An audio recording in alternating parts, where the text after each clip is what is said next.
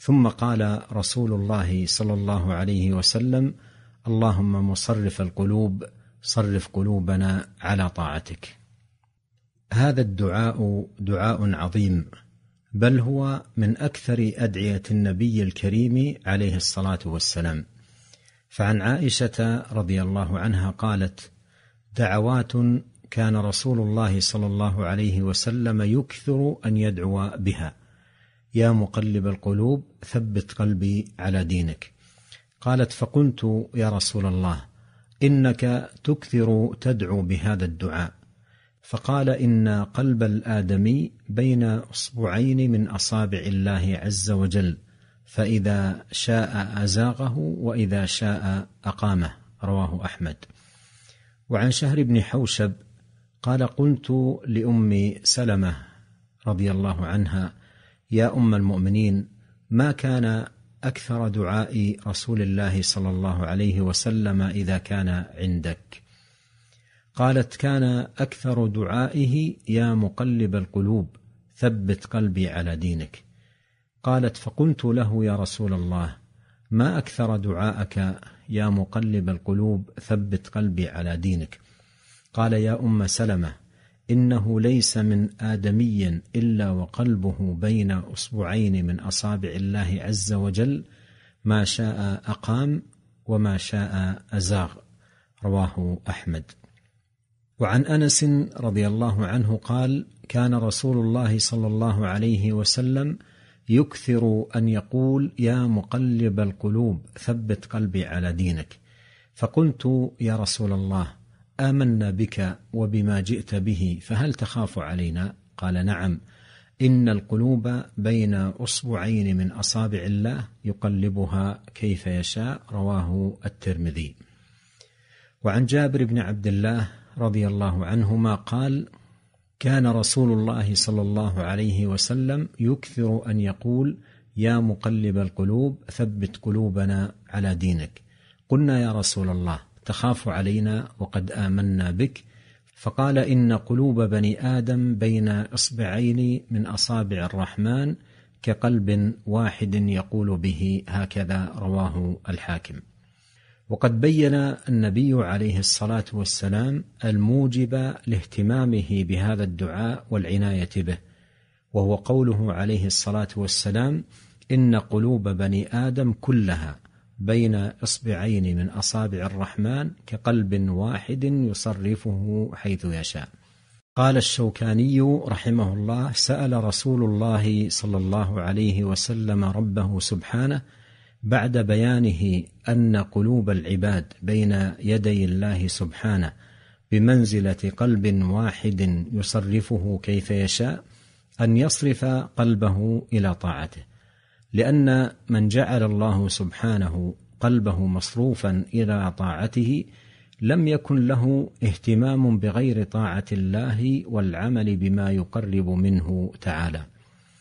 إذ لا رغبة لقلبه إلى غير طاعته ولا التفات إلى شيء من المعصية. ومثل هذا ما ورد من دعائه صلى الله عليه وسلم يا مقلب القلوب ثبت قلبي على دينك. والحاصل أن تثبيت قلب العبد على الدين وانصرافه إلى الحق من أعظم أسباب النجاة والفلاح والعصمة عن كثير من الذنوب التي يقارفها كثير من العباد. انتهى كلامه رحمه الله. وهذا فيه أن قلوب العباد بيد الله سبحانه هو الذي يتصرف فيها ويقلبها كيف يشاء يهدي من يشاء ويضل من يشاء يثبت على الحق من يشاء ويزيغ من يشاء يمن على من يشاء بالهداية ويوجب على من يشاء الخذلان. فالأمر أمره والخلق خلقه وجميعهم طوع تدبيره سبحانه.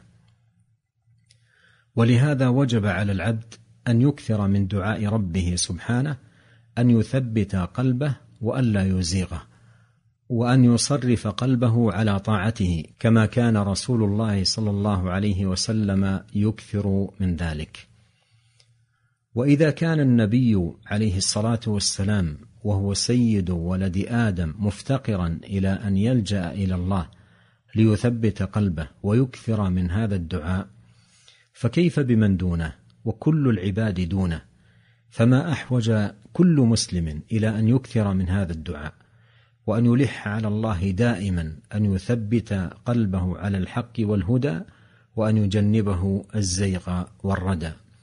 قال البغوي رحمه الله فيه بيان أن العبد ليس إليه شيء من أمر سعادته أو شقاوته بل إن اهتدى فبهداية الله إياه وإن ثبت على الإيمان فبتثبيته وإن ضل فبصرفه عن الهدى. قال سبحانه وتعالى بل الله يمن عليكم أن هداكم للإيمان. وقال الله سبحانه وتعالى إخبارا عن حمد أهل الجنة الحمد لله الذي هدانا لهذا وما كنا لنهتدي لولا أن هدانا الله. وقال الله عز وجل يثبت الله الذين آمنوا بالقول الثابت في الحياة الدنيا وفي الآخرة. فتبين بهذا أن الله تعالى هو الذي يتولى قلوب عباده فيتصرف فيها بما يشاء.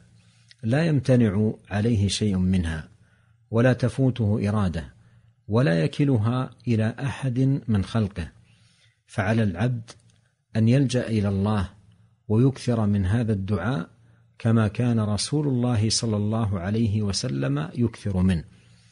وفي هذا إعلام للأمة بأن نفسه الزكية إذا كانت مفتقرة إلى أن تلجأ إلى الله سبحانه لتثبيت قلبه فكيف الأمر بمن هو دونه؟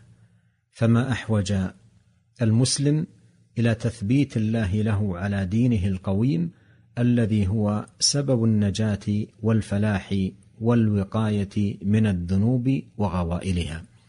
والله تعالى يقول يثبت الله الذين آمنوا بالقول الثابت في الحياة الدنيا وفي الآخرة ويضل الله الظالمين ويفعل الله ما يشاء. والعبد مع هذا محتاج إلى بذل المساعي النافعة وسلوك المسالك الصالحة لينال رضا الله وهدايته وتوفيقه وتثبيته. والذين اهتدوا زادهم هدى وآتاهم تقواهم. قال ابن القيم رحمه الله إن العبد إذا علم أن الله سبحانه وتعالى هو مقلب القلوب وأنه يحول بين المرء وقلبه وأنه تعالى كل يوم هو في شأن يفعل ما يشاء ويحكم ما يريد وأنه يهدي من يشاء ويضل من يشاء ويرفع من يشاء ويخفض من يشاء فما يؤمنه أن يقلب الله قلبه ويحول بينه وبينه ويزيغه بعد إقامته. وقد أثنى الله على عباده المؤمنين بقولهم ربنا لا تزغ قلوبنا بعد إذ هديتنا. فلولا خوف الإزاغة لما سألوه ألا يزيغ قلوبهم. وكان من دعاء النبي صلى الله عليه وسلم اللهم مصرف القلوب صرف قلوبنا على طاعتك ومثبت القلوب ثبت قلوبنا على دينك. وفي الترمذي عنه صلى الله عليه وسلم أنه كان يدعو أعوذ بعزتك أن تضلني أنت الحي الذي لا يموت.